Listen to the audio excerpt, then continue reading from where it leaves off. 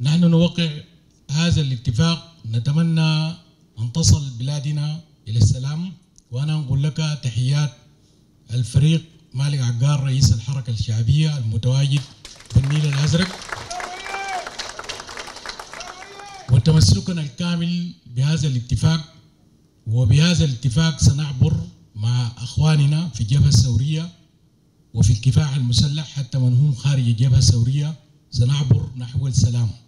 وهذه بدايات السلام. والسودان بلادنا لن تنهار ولن تنضم إلى نادي الدول الفاشلة بل ستعبر بنجاح.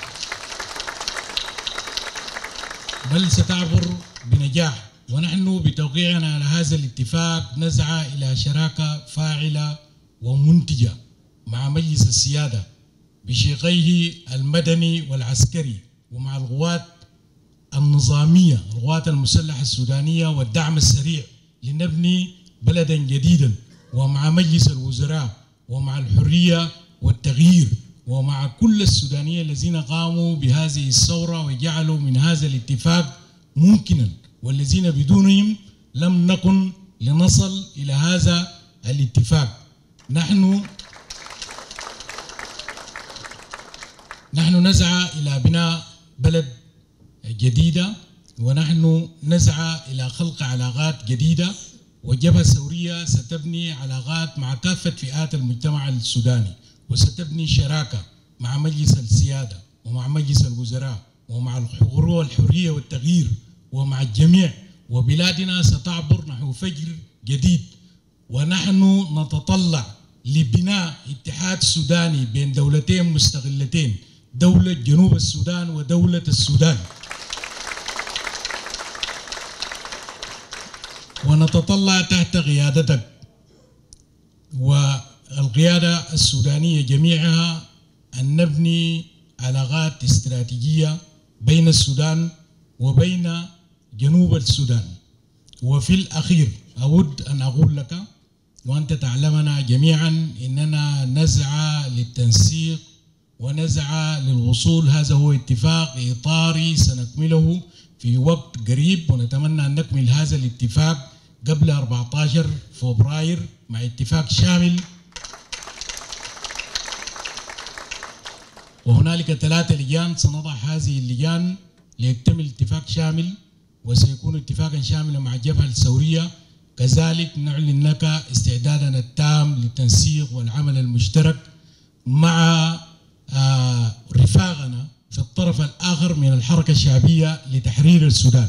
حتى تنتقل حتى تنتقل المنطقتين وينتقل السودان وتنتقل دارفور وينتقل شرق السودان وشمال السودان ووسط السودان والخرطوم إلى مربع جديد. بلادنا تحتاج السلام نحن نشكرك على هذه المجهودات. وأنت لست غريب على السودان ولست غريب على كل ما نفعله الآن. نحن نريد أن نبني بهذا الاتفاق منظومة عسكرية أمنية جديدة.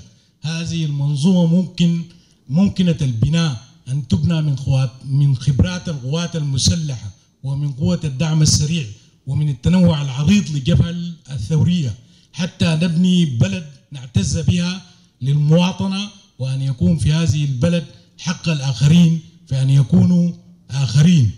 والاتفاقية التي وقعناها تناولت قضايا كثيرة. تناولت حق التشريع للمنطقتين.